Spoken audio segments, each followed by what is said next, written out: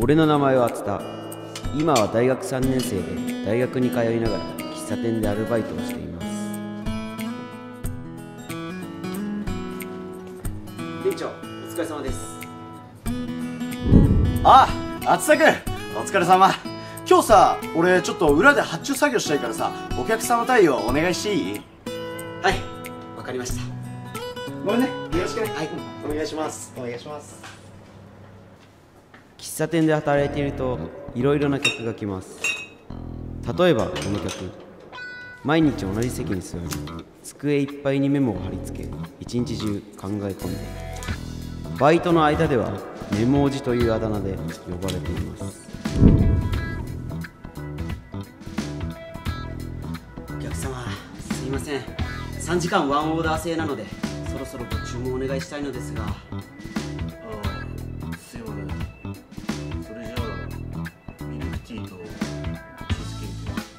かりました。変わった人ですが悪い人ではなく注文もちゃんとしてくれるので特に不満はありませんでした。本当に俺を悩ませる客は別にいました。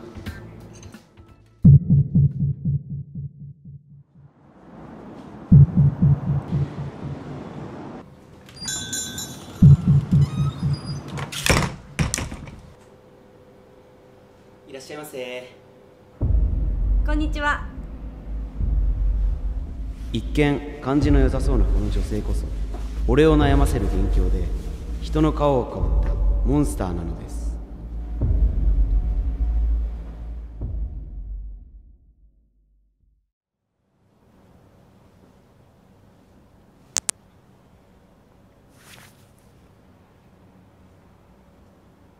あのすいません。お客様どうかされましたか？あの実はこのケーキに髪の毛が生えてたんです。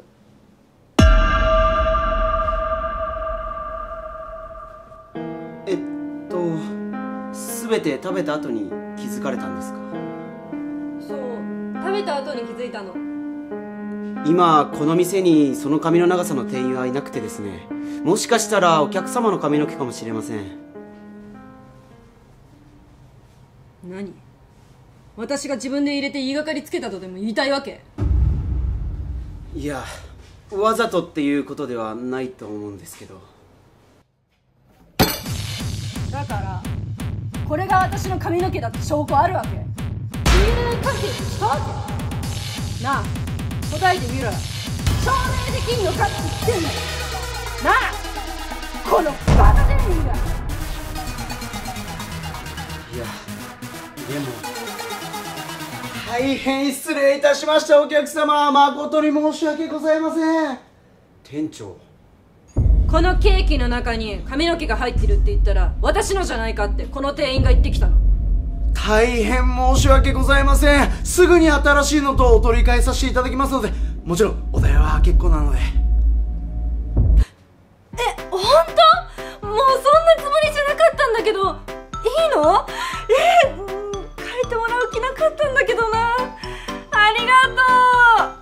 いします。すぐにお取り替えさせていただきますね。お願いします。そう。この客は何かと料金を安くしようとする。ドケチクレーム女なんです。はい。どうしたつた？そんな落ち込んで。またあのドケチ女にやられてしまいましてあいつか。よし。またあいつが何かしでかすようだったら俺がビシッと言ってやる。さすが松さん。ありがとうございます。そんな話をしているとすぐにその女は気候に出ました。松さんあれ見てください。あどうした？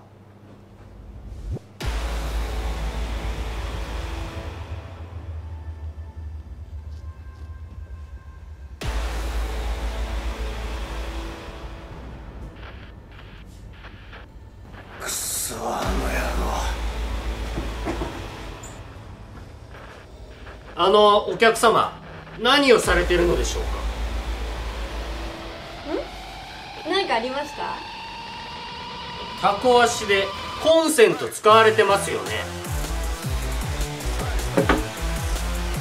おお何か問題でもあります？さすがにそれは非常識じゃありません。非常識？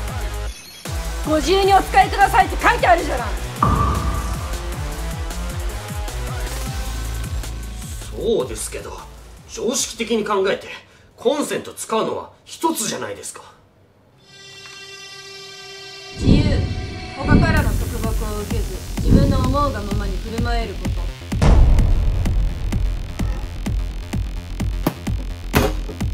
あんたさ日本人なのに自由の意味も知らないわけですけど。充電1台までって書いてある。30ワットまでって書いてある。自分たちで書いたくせにイチャモンつけてくんじゃねえよバカ店員だ。申し訳ございませんお客様。店長。あのこちらの表記の仕方に間違いがありましたのでそのままお使いになって大丈夫です店長さんは物分かりいいわね。このアルバイトさんにもちゃんと教育しといてね。かしこまりました。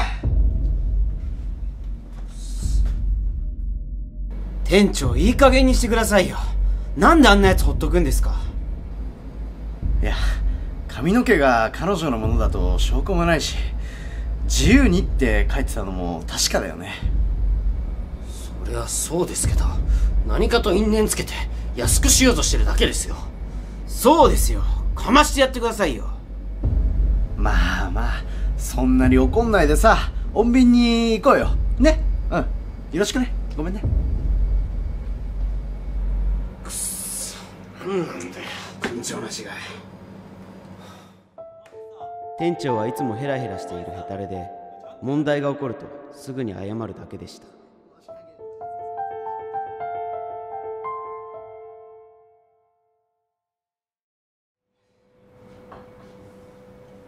きましたか。またケーキ食べ放題のキャンペーンやるらしいんですよ。またあの女来るんじゃないですか。大丈夫だよ。今回のキャンペーンはパートナーと同伴の時のみ有効だ。あんなやつにパートナーがいると思うか？確かに言えてますね。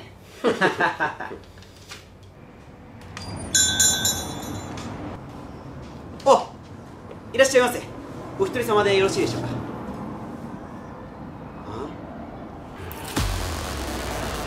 二人で食べ放題でお願いします。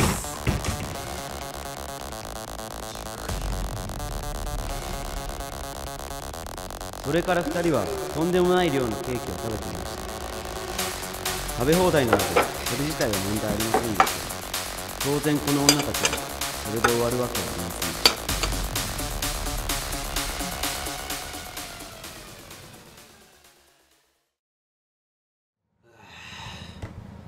そろそろ1時間経つんじゃないかな。はいそうっすね。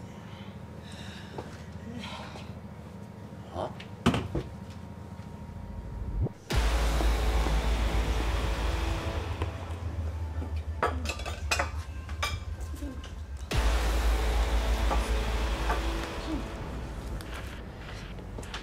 くっそあいつら。ね行ってきます。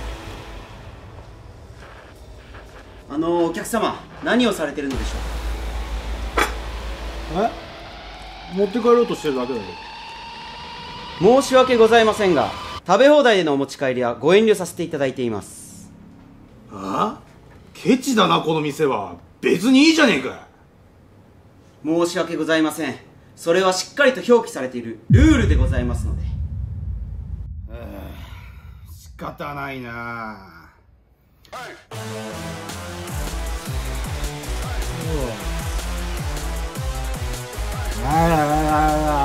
お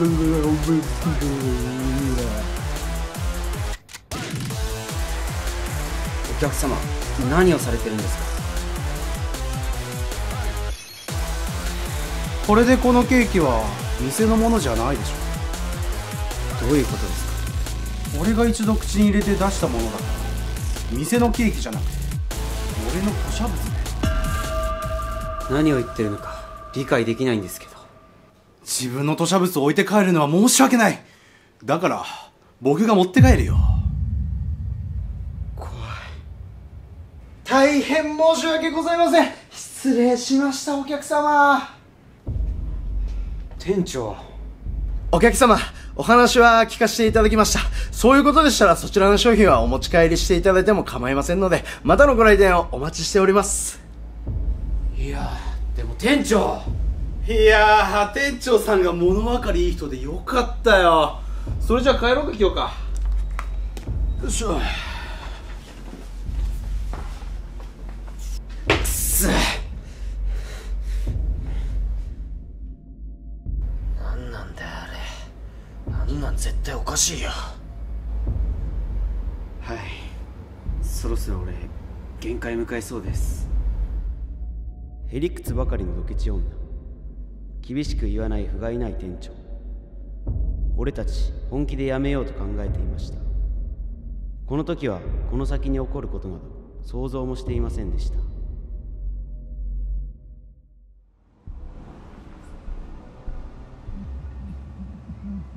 これらを1000円で楽しめるお得なセットのキャンペーンが始まりました。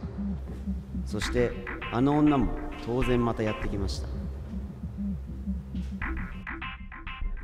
松さんと俺はそいつとはなるべく関わらないよ。う店長がいる時はなるべく任せていました。1万円で。はいこちら9000円お願いします。はい。ありがとうございました。帰りましたかねあいつ。ああもう帰ったみたいだぞ。お得なセットの時だけ来やがって。あいつの顔見るだけでムカつくぜ今この店内にいるのはメモおじさんだけだよ。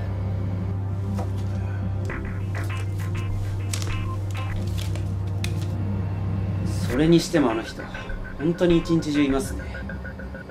まあ別に迷惑かけるわけじゃねえしほっときゃいいんじゃねえか。ほら作業戻るぜ。その日はそのまま何事もなく終わりそう思っていました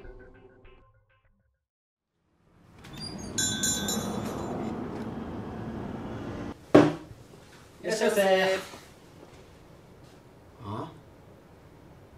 この1000円のセットお願いします。お客様そちらは1日1度限定となっております。何？今日来るの初めてだいや変装しても分かりますよ。お客様の顔はしっかり覚えてますのでだから初めてだって言ってるでしょ。私が2回目だって証拠あるわけ。証拠？カメラもないみたいだし。証拠がないでしょ証拠が。黙って席に案内しなさいよ。いい加減にしろよ。はあ？毎度毎度イチャモンつけやがってよ。恥ずかしくねえのかよんだよてめえはよああんた客に向かってなんて態度取ってんのはあお前なんかもう客じゃねえよお前大変失礼いたしましたお客様すいません店長店長さんこの店員たちが今日初めての来店なのに私が変装だって言い張るの挙句の果てに暴言まで吐いて警察呼んでもいいんだけど。大変失礼いたしました。お客様は1000円のセットがご要望なんですよね。ええそう。くっそ。今回も店長の謝罪で終了。そう思っていました。それではお客様。出ていけやこのペテンシ野郎 え？どういうつもり？あんたみたいな人間には決定的証拠を突き出さなければならない。だからずっとずーっと決定的な瞬間を待ってたんだどういうこと？お前が払ったこの1000円。お札にはそれぞれ番号が書いてある。番号？お前が一度来店した時にお釣りで渡したこの1000円札念のため写真を撮っておいた。そして今お前が払ったこの1000円札と写真の1000円札の番号が一致したんだよ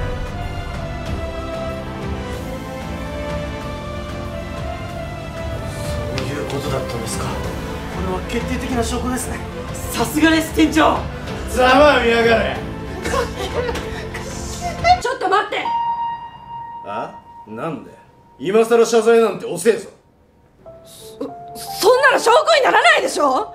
お釣りだって回りに回って私のとこに来たかもしれないじゃない。あ？てめえ何言ってんだよ。そうだよ。みっともねえよ。おいみっともねえさとにかく私は認めないから。これは罠よこの店は私を騙そうとしてる。あんたたちが仕組んだんでしょ？いやいやもう無理だ言いなさいよちゃんと。そんなん見苦しいぞ。あん苦しいぞ。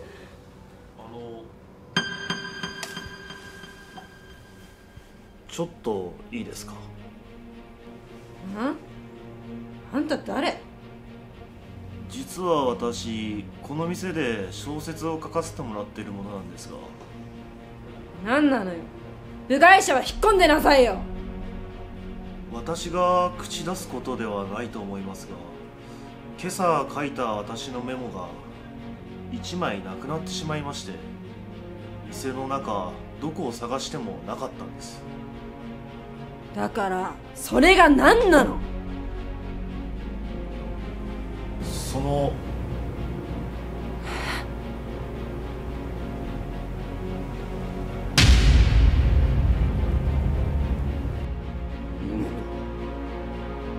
今この店に入ってきたあなたの靴の裏に私のメモがくっついてることはありえない。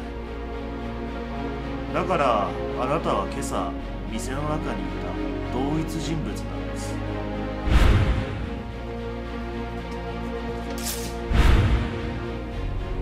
そんなここで着いたかなんて分かんないでしょ？街で着いたかもしれないじゃない。それじゃあ言い当てましょうあなたの靴の裏に書いてあるメモの文字は？竜だ。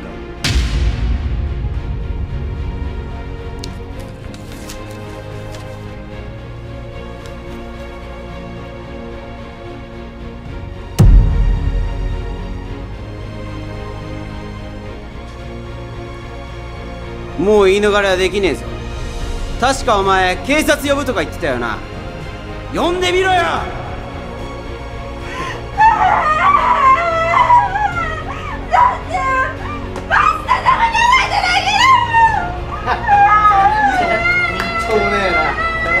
こうして店長のおかげでクレームドケチ女のことを成敗することに成功しました。